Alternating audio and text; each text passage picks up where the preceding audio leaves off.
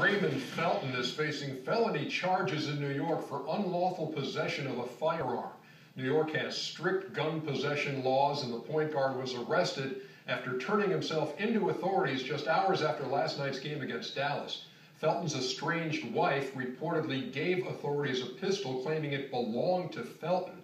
Just what this means in terms of his NBA status remains to be seen. The league is monitoring the situation, uh, as is SI.com legal analyst Michael McCann, uh, who joins us live now uh, via the telephone. And Michael, what's the very latest? Because I understand uh, that Raymond Felton's been in custody all day. What's up?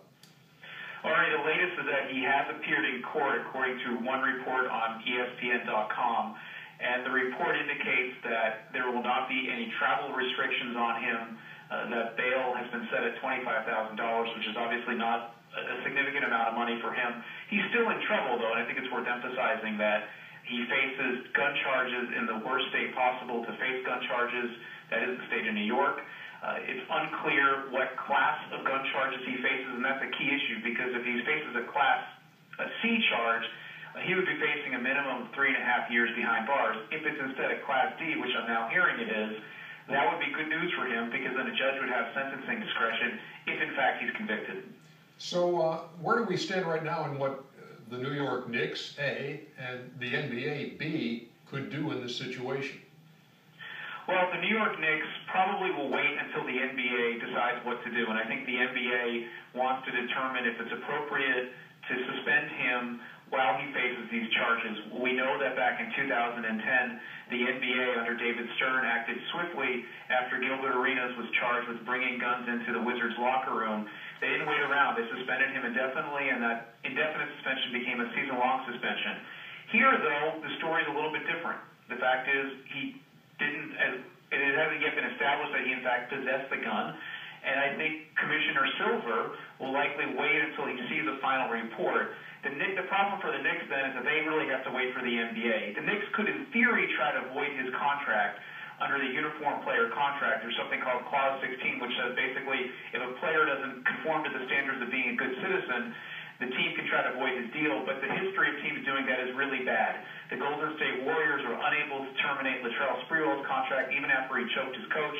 The Wizards didn't terminate Gilbert Arenas' contract, and the Celtics couldn't get, get out of Vin Baker's contract, even when he wasn't able to work allegedly due to alcohol. So I think right now, Ernie, the next step is the Knicks wait to see what the NBA does, and the NBA will likely take its time to make any kind of swift decision. Uh, if you could just shed some light on the circumstances of the events, because when you when you get on and read different accounts, there's well, he reportedly waved a gun at this person, that kind of thing. Do, you, do we have a good read on exactly what happened?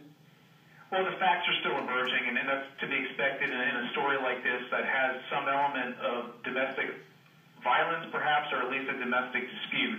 And the report that we believe to be the case is that his estranged wife, Ariane Raimondo Felton, turned a gun over, specifically a Belgian pistol, to the New York police and said, it's his.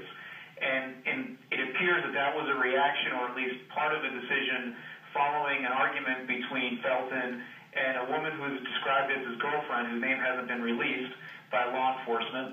So the estranged wife turns the gun over to the police, either by herself or through her attorney, and says this is his. The problem for the prosecution is that how do we know it's his? Felton could say it's not his gun. How do you prove possession when he's not the one who was found with the gun?